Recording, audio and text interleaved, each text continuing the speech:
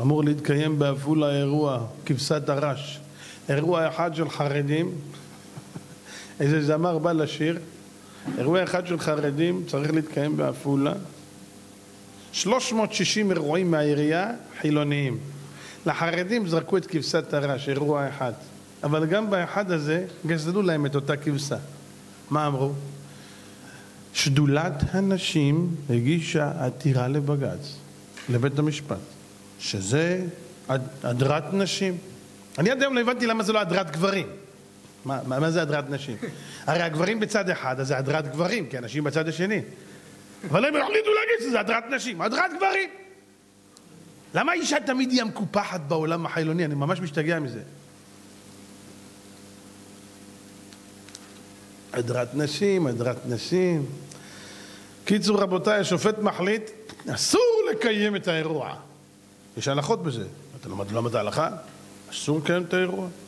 זה כסף של המדינה, כסף של האזרחים, ואין להפלות בין מין וגזע ובלה בלה בלה בלה אסור לקיים את האירוע.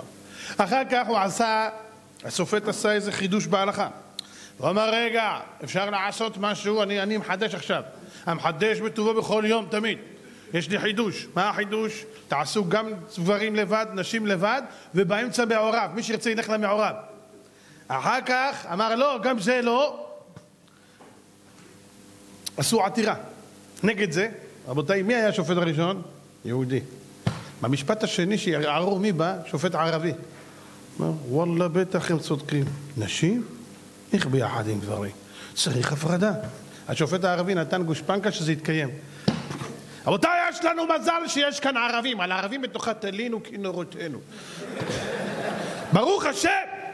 אתם מבינים? איזה מזל שיש לנו שופט ערבי במדינת ישראל. למה היהודי הזה, הוא עוד לא הבין מה שהערבי הבין.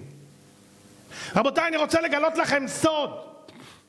מי שילך לאירוע של ערבים, חתונה, בחיים שלו לא יראה ריקודים מעורבים. ישחטו אותם שם. הפרדה, נשים רוקדות לבד, וואלה. שאלתי פעם ערבי, אומר לי, וואלה, אתה מסתלבט עליי? ככה אתה אומר את זה, זה, איך אתה אומר דבר כזה? רוקדים ביחד? מה זה השטויות האלה? נשים משמחות את הנשים, גברים את הכלה, וגברים בצד השני, אין דבר כזה. הערבי מבין הפרדה, אבל השופט לא מבין כלום. אז נתנו, אז השופט הערבי נתן היתר, תקשיבו טוב, זה לא נגמר, זו סוגיה סבוכה במפרשים, יש בזה הרבה ראשונים ואחרונים. והנה רבותיי, באמצע האירוע עתרו לבג"ץ, ובג"ץ הורה שחייבים לעצור את האירוע באמצע כי הערבי לא צודק. אבל מי יעצור את האירוע באמצע? רון קובי הגיע, העיפו אותו החוצה. מה אתם אומרים? זה לא בית משוגעים, אז מה זה? רבותיי, להיות ישר זה באמת להיות ישר, לא לבלבל את המוח. אם יש לכל אחד כבוד האדם וחירותו, איך אני מת על המילים האלה? כבוד האדם וחירותו. איזה מילים, בית דין גבוה לצדק. אתה יודע שם הצדק כל כך גבוה שאף אחד לא רואה אותו. איפה הצדק? It is far away.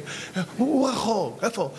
שם. צריך משקפיים מיוחדות. לא, לא, לא, אתה לא יכול. בגדי המלך החדשים, המלך ערום. קדחת, אין כלום.